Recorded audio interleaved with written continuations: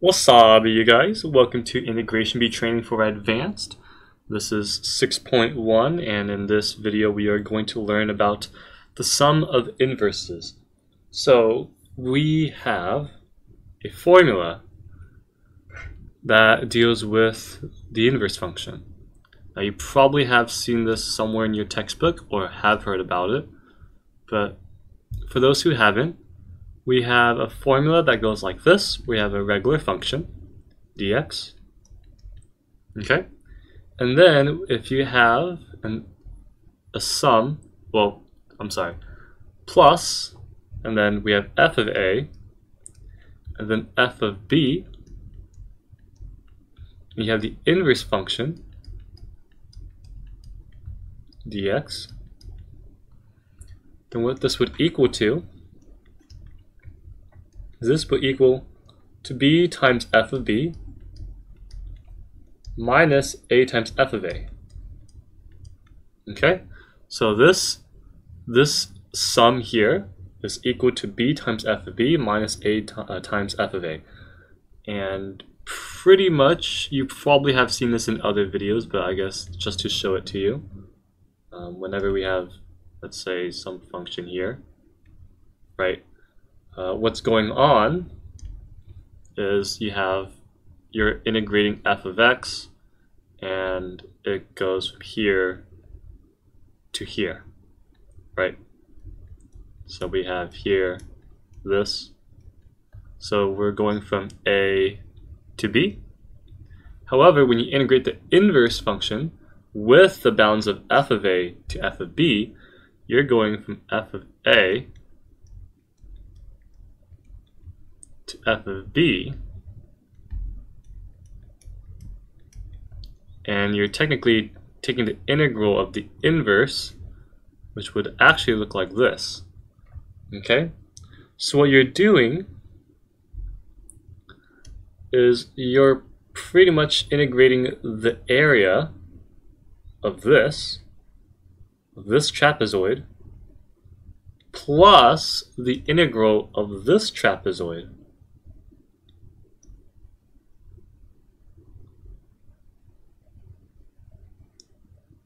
Okay?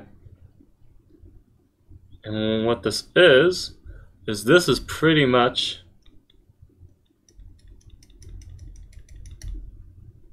a square, right? You technically have a square.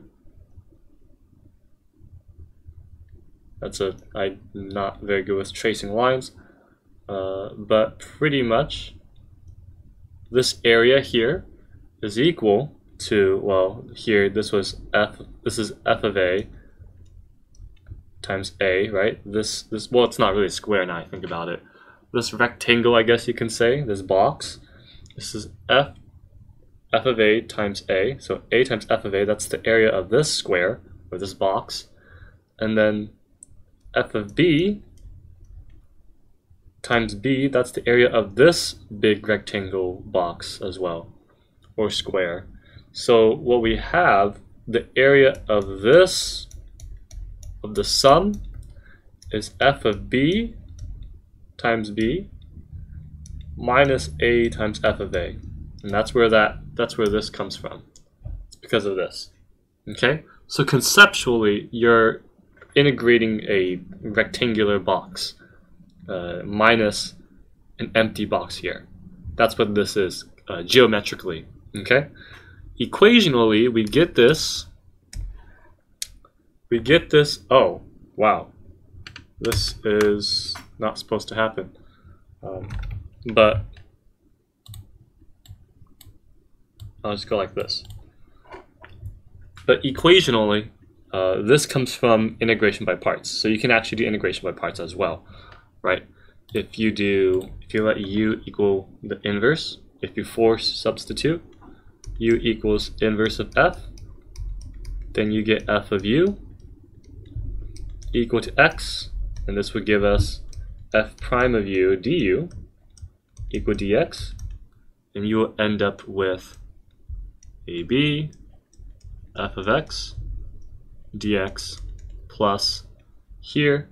We get ab as well, and you end up with uh, u, this is u, f prime of u, du, right? Of course, they're just variables, so we can just interchange them. And because they have the same bounds, we can put them together. And you notice that this is, what is this? This is a reverse product rule. This is a reverse product rule. This is equal to x times f of x. Or, uh, or instead of reverse product rule, it's just integration by parts. But reverse product rule, technically, this is where we get b times f of b minus a times f of a. And that's where this comes from. Okay? So this is our formula here. This is our inverse, um, a sum of inverse. This is our sum of inverses. Okay? All right, let's get into the examples. Okay, so let's start with a beginner example of using the sum of inverses.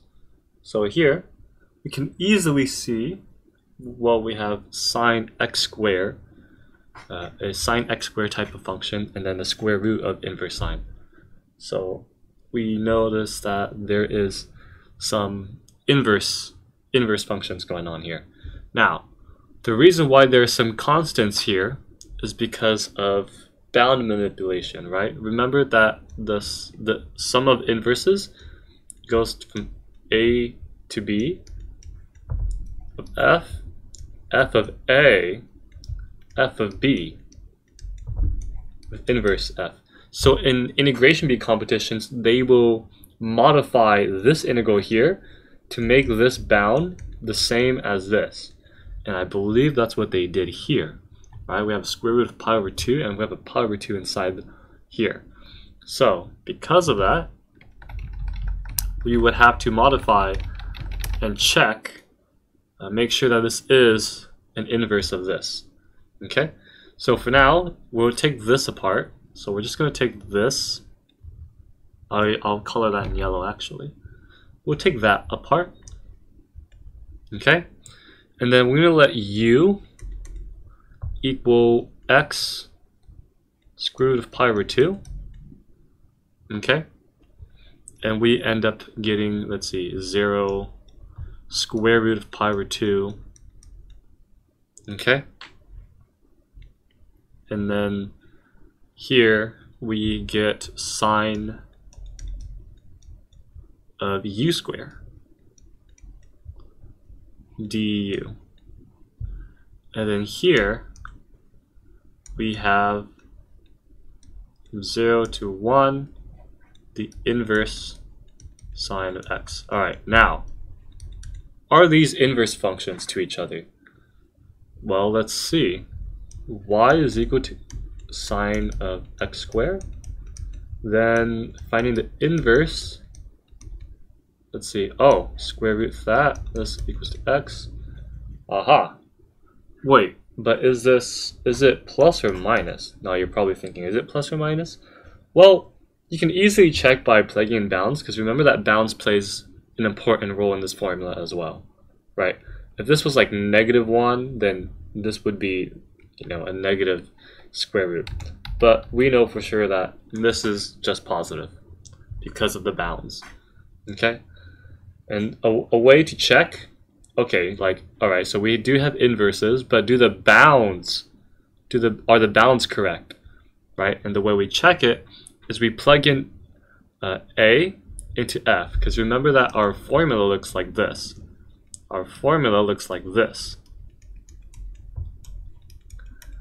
plus f of a, f of b, and then inverse function.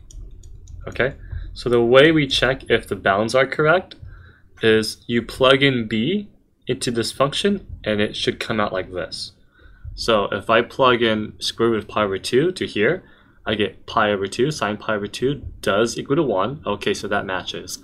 Plug in 0, that equals to 0, which what we got, and that matches. All right, cool. So that means that we can use this formula, the sum of inverses. So In that case, we just get, well, you know, 0 times 0 is 0. So, and this is just 1, so our answer is just square root of pi over 2.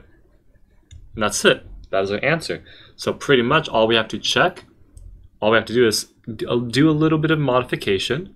So we're formatting it in terms of sum of inverses, and then check the function, make sure they are inverses, and check the bounds to make sure they are uh, corresponding to each other. Okay? Let's do another one. We have a very weird one. So this is this looks very weird because this looks nothing like inverse functions, right? They look nothing about they just don't they don't seem to correspond to each other. So this is very tricky. So what do we do? How how do we how do we approach this? This looks a little suspicious because x squared plus 2x, we could, what if we complete the square here? Plus 1 minus 1? Let's, let's see.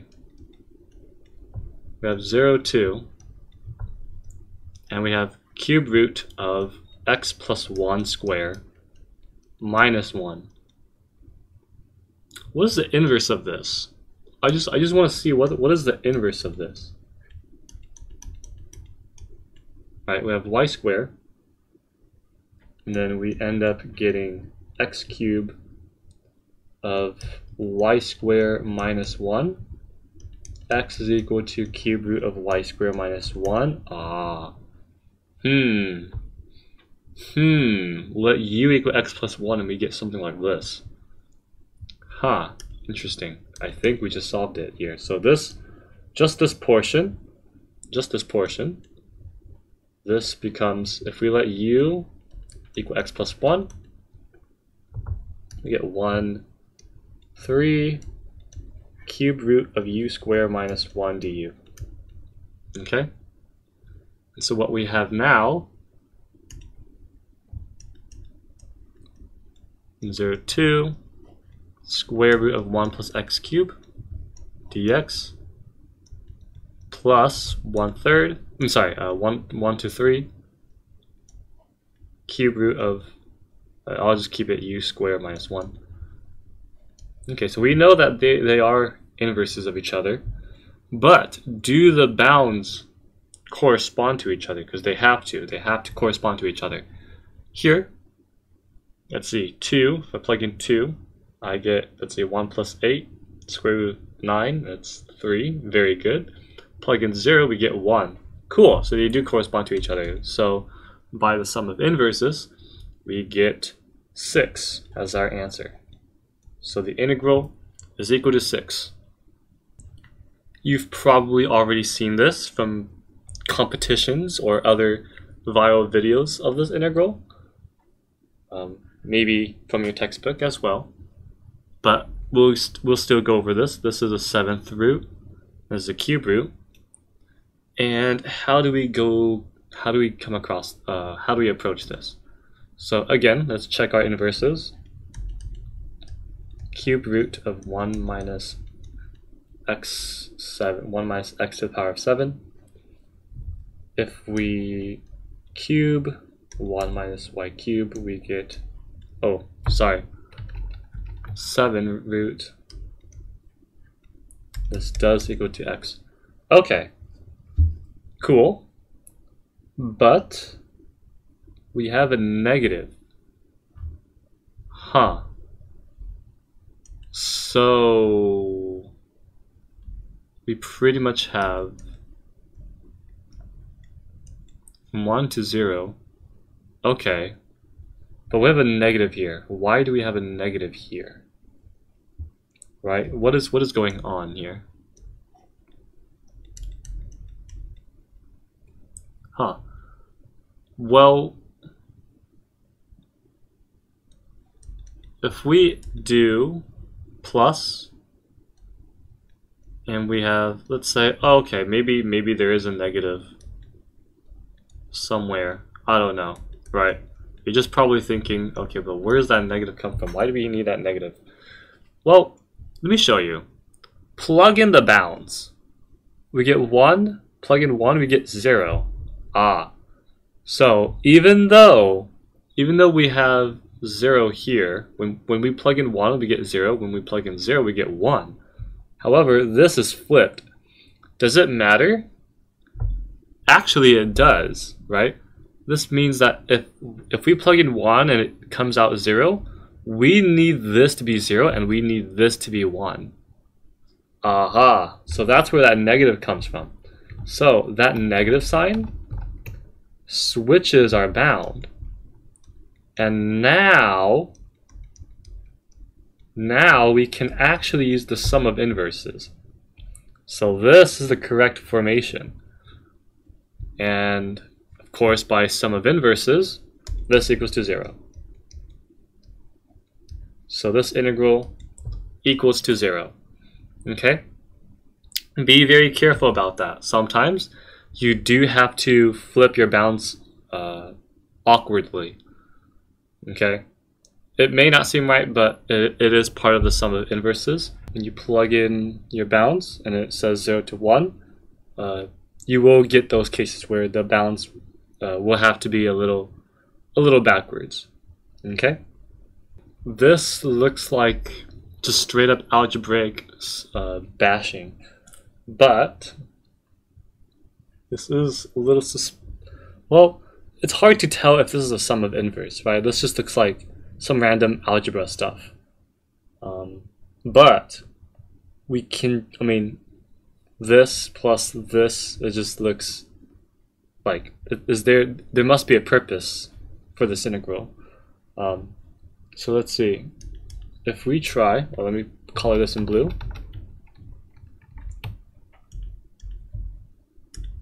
If we try y equals square root of 2x plus x plus 1, sorry, 2x over x plus 1.